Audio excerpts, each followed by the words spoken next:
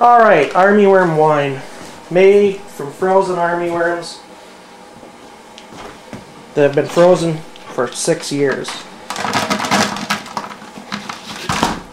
Ooh. Shane's gonna start filling those up. You can put them on the table then. Mm, they smell just like the day that we harvested them. Ooh. That's about uh, eight pounds of army worms there. Probably about seven. And uh, it's going to yield five gallons of army worm wine. The uh, the stuff here, the hat I'm wearing. Just set these on the table, please.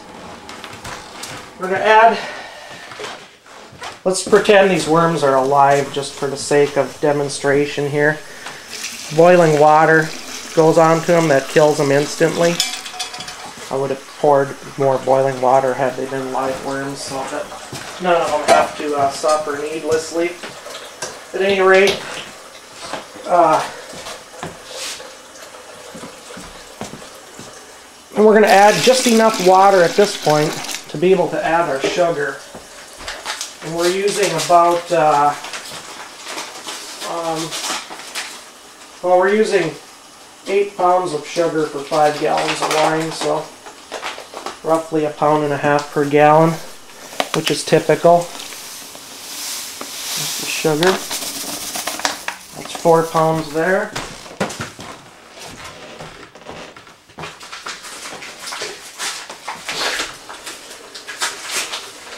I do have a, uh, I've got some yeast going here, a yeast starter in a wine glass. It's warm water and yeast and yeast energizer.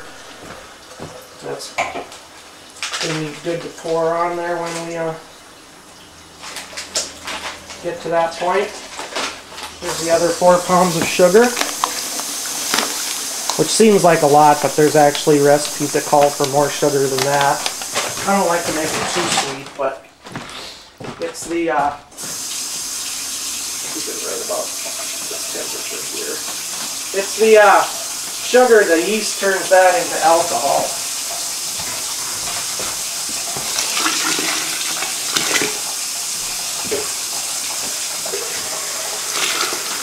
Now, before the water level gets too high, I'm going to mix it up to make sure that uh, all that sugar isn't just stuck on the bottom there.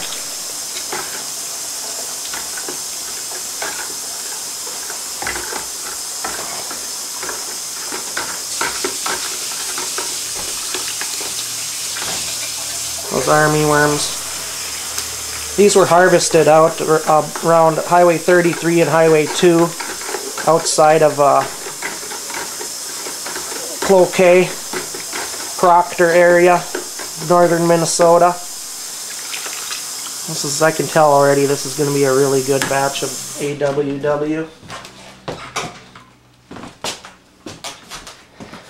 What you want to do is get the temperature just right so that the yeast will remain active but it won't kill the yeast.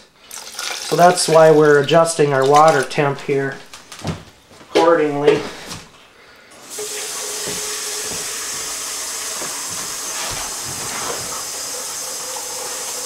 uh, so far so good.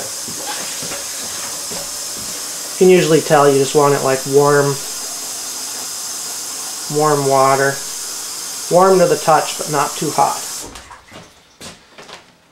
Last one. That's the last one. Thank you, Monty. Now, before I add the yeast starter, I'm going to um, add a little wine tannin, which balances low ta tannin wines. And it also adds clarification. And uh, it's not rocket science. Pretty close. There's a stick in there.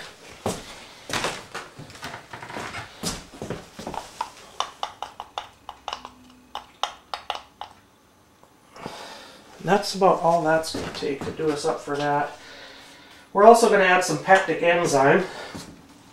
Increases the juice yields and prevents pectic haze. From what I remember right, it's a half teaspoon per gallon. So we're going to put roughly two and a half of these in there. Usually I use liquid pectic enzyme. Now this is really the crucial part because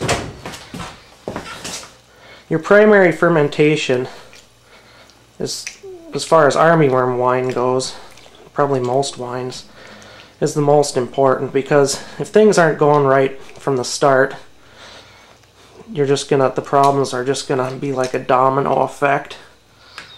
Oh, there's a leaf, a piece of bark, another twig. Uh, this looks like it's ready to go. That feels like it's about the right temperature. So we're gonna pour this on.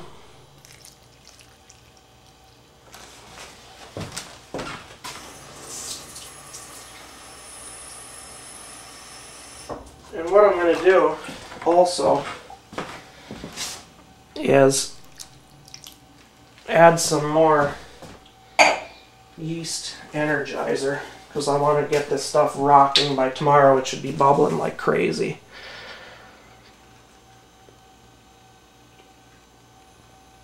I mean, we want the stuff to really be bubbling, where it's practically going to blow the airlocks off of a carboy next week. Okay. With this particular batch, I'm not going to add any Campden tablets just yet. Campden tablets are uh, sodium metabisulfite, and uh, that, that helps with uh, clarity, and it's a preservative, and it also sterilizes bottles when you're between batches.